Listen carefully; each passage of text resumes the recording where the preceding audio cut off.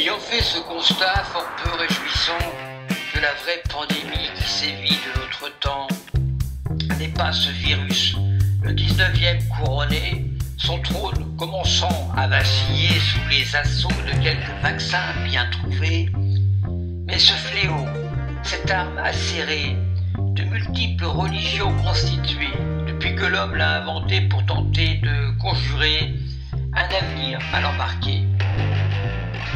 Il ne faudrait pas croire pour autant qu'en donneur de leçons je me pose, qu'en fanatique je me transpose, moi dont le doute est la religion sacrée, comment pourrais-je du coup vouloir l'imposer? Ce serait la contradiction suprême, l'ultime contre-vérité, d'aller rejoindre malgré tout la cohorte des bornés.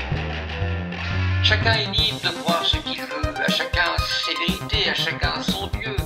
S'il garde pour lui ses croyances et qu'il les chérisse à alors dans ces conditions bien établies, relevant de la sphère privée, je pourrais peut-être aimer mon prochain comme on me l'a demandé.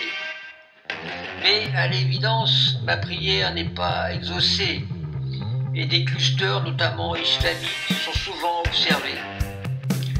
Mes fanatiques de toutes sortes, il va vous falloir bientôt prier, car j'ai bon espoir que les marchands du temple puissent un jour trouver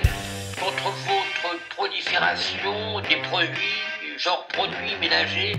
Par exemple, pour les disciples de Daesh, on peut espérer une sorte de détergent d'une belle efficacité, j'ai nommé le Nomamisland, à utiliser.